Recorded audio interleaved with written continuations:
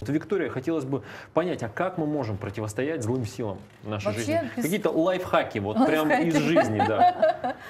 Ну, на самом деле, э, действительно, противостояние, э, в противостоянии очень важно хранить мир.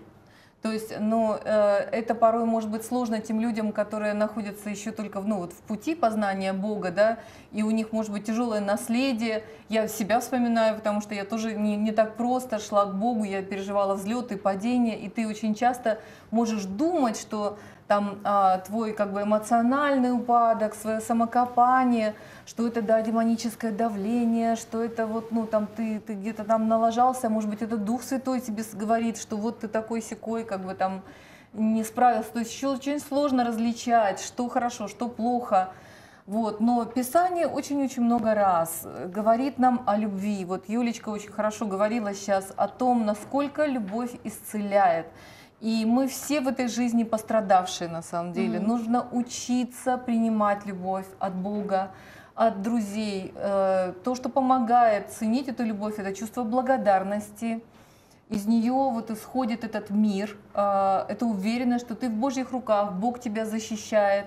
И Писание, строки Писания нас поддерживают, что незаслуженное проклятие, оно как ласточка вспорхнет, как птичка улетит, оно не задержится в твоей жизни. Бог говорит, что до тысячи родов благословения Его на любящих Его, что у вас тысячная просто защита а, Божья, что тех, кто с вами, гораздо больше тех, кто против вас. И э, основное – это уверенность в Божьей любви, в Божьей защите. То, что важно, это все-таки, если вы находитесь где-то в сомнениях, просто просить Бога, чтобы, ну, приносить покаяние, может быть, за те грехи, которые вы еще не знаете, совершили, не, за- не совершили, но сказать, Господь, просто защити меня, я раскаиваюсь, в чем я делал неправильно, покажи мне, если мне что-то нужно исправить, я полностью доверяю себе и принимать после покаяния, принимать очищение и утверждение, что ты возлюбленный ребенок Божий. Мы все, сколько бы нам ни было лет, 80, 90, 16, 5, 30, 40, мы все дети для Бога, мы все малыши, можно сказать. И так много людей, которые, может быть, уже имеют седины, но в душе у них очень часто плачущий маленький ребенок, пяти лет. Поэтому Бог видит вас, и Он всегда вас готов пожалеть, Он всегда готов вас действительно поцеловать, обнять. В этом один из самых больших ключей защиты от демонических атак. Если Покаяние. в это покаяние и принятие Божьей любви и веры, чтобы у вас был мир. Потому что э, послание э, Иакову так начинается, да, что он говорит, э, давайте не будем сомневаться, э, подобно волне, которая то, то взметается, то падает. Давайте будем стоять в нашей вере, потому что колеблющийся он не тверд во всех путях своих. Нам нужна твердость, нам нужен этот покой, потому что этот покой – это свидетельство веры, уверенности, что вы под защитой Божьей. Любое, любое какое-то смятение, просите у Бога прощения, э, получайте от Него подтверждение, напоминайте себе тоже, и Дух Святой работает, э, Слово Божье, что вы под защитой, что вы возлюбленный Божий ребенок, что ополчается ангел Божий вокруг вас, и вы с ним, вы под его сверхъестественной защитой, крылом. Это не значит, что не будет сложностей, я имею в виду, могут быть сложности, проблемы, какие-то вызовы, какие-то неприятные ситуации.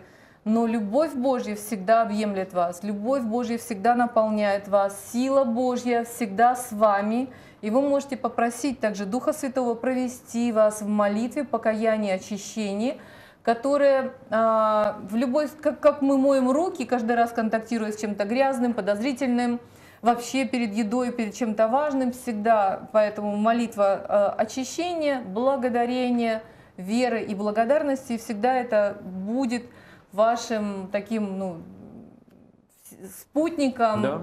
То, Это что прямо поможет, основа да. основ. Основа. Юля, как вы Да, считаете, меня- каким меня способом есть- можно да. бесам противостоять? Тем более, вот лайфхак. Лайфхак. Да, давайте три. Вот мы понимаем, нужно молиться, нужно исповедовать Слово Божье. Ну, какие-то практичные вещи тоже Да. хотелось бы услышать. Вы сказали, когда чувствуешь, что демоны влияют на твою жизнь, может даже гормональный фон меняться, или ты чувствуешь атмосфера какая-то вот.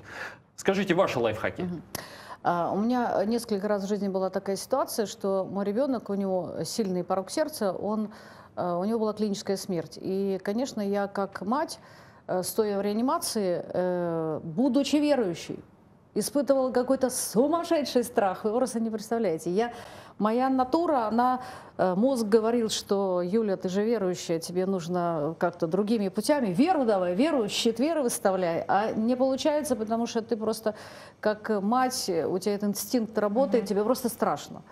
И э, когда это происходило один раз, э, потом второй, потом третий, я вдруг поняла, что мне нужно менять тактику, потому что я могу так действительно потерять ребенка.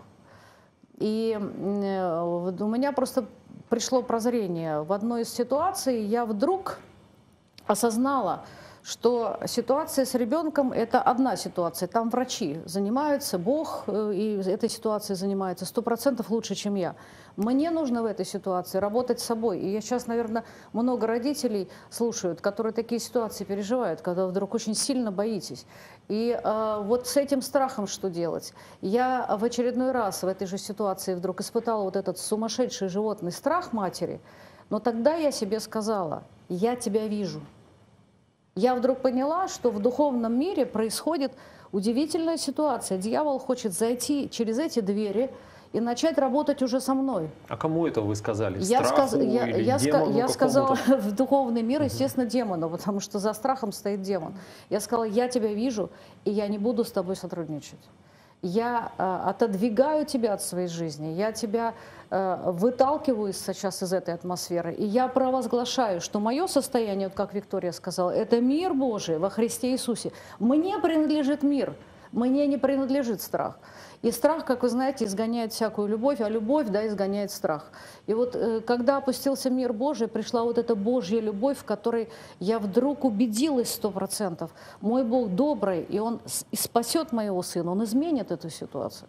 И с тех пор я стала этим пользоваться во многих случаях. Э, мне кажется, это и есть дар развлечения. Э, в конечном итоге ты начинаешь просто понимать, что происходит в атмосфере, кто на тебя пытается влиять. Потому что есть ситуации, которые ну, скажем, до этого, да, до этого случая, а, они были для меня не очень понятны, потому что мне казалось, а вдруг это Бог уже не хочет, чтобы мой ребенок жил там, а вдруг это там у меня какой-то грех, понимаете? Но это дало мне возможности стать, э, ну, перейти как будто бы на, на новый качественный уровень моей веры, потому что я стала понимать, что нет, все зависит от того, во что я верю как писал, написано в 1 Петра, да, противостаньте твердую веру. И вот эта вера стала давать мне возможность да, и говорить в духовный мир, и, соответственно, менять уже потом ситуацию.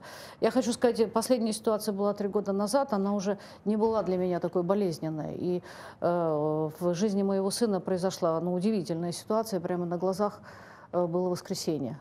Вау. Может быть, в двух словах расскажете, как это было? Да, это был удивительный случай. Э, его кислород упал до 60. Вы, наверное, сейчас уже в связи с пандемией понимаете, что это такое. Э, но это было не из-за коронавируса, а из-за того, что сердце перестало работать. И нас везли уже с таким кислородом по коридору. Уже врач сказал, что все плохо, скорее всего, это уже конец.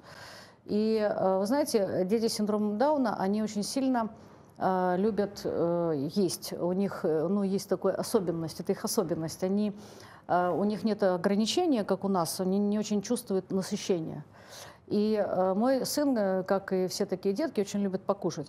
И вот представьте, его везут, я вижу, что ему плохо совсем, я вижу, что это действительно близко к концу. Э, я э, перестала, я себе сказала, что все, я не буду с тобой сотрудничать, я тебя вижу, я вижу, что это страх, здесь будет мир Божий, здесь будет его любовь. И мне вспомнилась ситуация. Помните, это замечательное место Писания, когда Иисус входил в город Наин. В переводе город Наин прекрасный. И вот он входил в этот город, и навстречу ему женщина с умирающим сыном, ее уже несли навстречу. И сын уже умер, и помните, Иисус подошел, положил, вопреки запретам ветхозаветным, что нельзя касаться нечистого, положил руку, и сын встал, да, юноша встань. Я вдруг, его везут по коридору, и я думаю, вот она, вот она, та библейская ситуация. Сейчас это чудо произойдет. Я знаю, что навстречу нам выйдет Иисус.